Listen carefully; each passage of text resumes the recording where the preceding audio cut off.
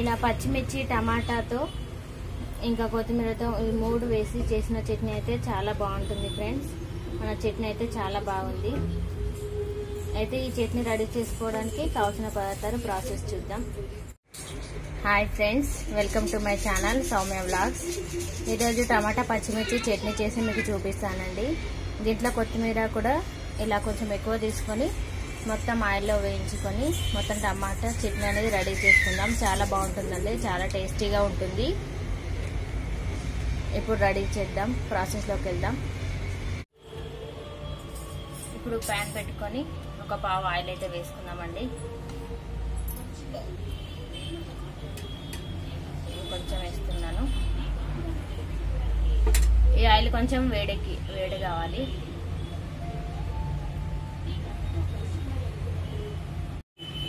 ఇలా ఆయిల్ వేడైన తర్వాత చిల్లుతుందండి. సిమ్లో పెట్టుకొని వేసుకోండి. టమాటాలు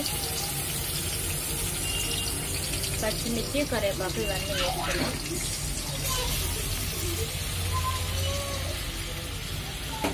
వేసుకొని దాదాపు సిమ్లోనే పెట్టుకోండి. సిమ్లో పెట్టుకొని ఉడికించుకోవాలి. ఒక టూ టేబుల్స్ సాల్ట్ యాడ్ చేసుకుందాం. సాల్ట్ వేసుకొని ఇలా ఒకసారి అయితే కలుపుకుందాం. కలుపుకొని సిమ్లో పెట్టేసుకొని ఒక టెన్ మినిట్స్ అలా కుక్ చేసుకుందాం. మధ్యలో మధ్యలో చూస్తుండండి. ఒకవేళ అడగంటి పోతుంది కదా. మాడుకోకుండా ఉండడానికి మధ్యలో మధ్యలో కలుపుతుండాలి. ఒక టూ మినిట్స్ తర్వాత చూద్దామండి.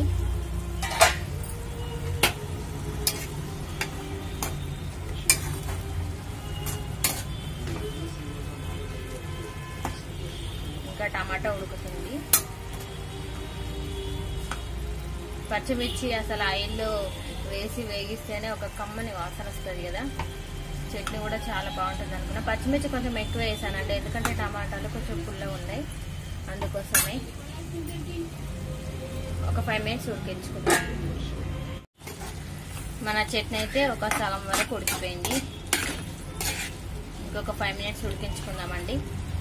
ఈ ఆయిల్ మొత్తం ఇంకిపోవాలి. ఇలా నూనె పైకి తేలుతున్నప్పుడు మనం దీన్ని చట్నీ చేసుకుందాం. మన టమాటా పచ్చిమిర్చి అయితే మొత్తం ఉడికిపోయాయండి.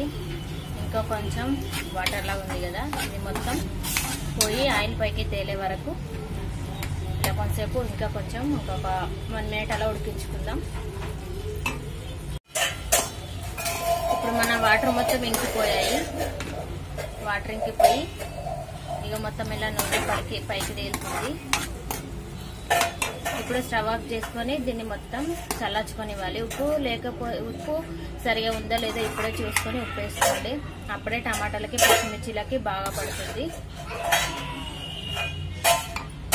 చల్లరిన తర్వాత మనం మిక్సీ పట్టుకుందాం లేకపోతే దంచుకుందాం. ఇలా చట్నీ చల్లారిపోయిన తర్వాత ఒక ఐదారు వెల్లుల్లి డబ్బలు వేసుకొని వీటిని కచ్చపెచ్చగా దంచుకోవాలి.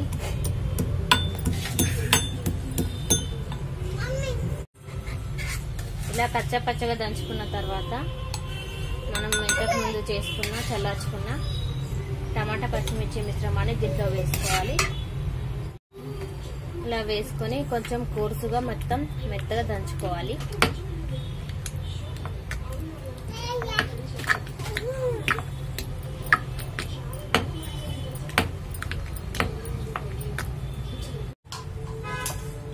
ఇలా పచ్చడిని కోర్సుగా అయితే దంచుకున్నాం ఇప్పుడు సర్వోట్ చేసుకుందాం.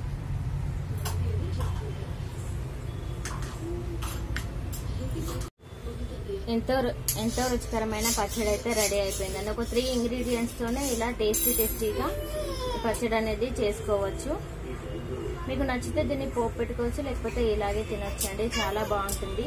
థ్యాంక్స్ ఫర్ వాచింగ్ అండి. నా వీడియో నచ్చినట్టయితే లైక్ చేయండి సబ్స్క్రైబ్ చేయడం మర్చిపోవద్దు ఫ్రెండ్స్ బాయ్ బాయ్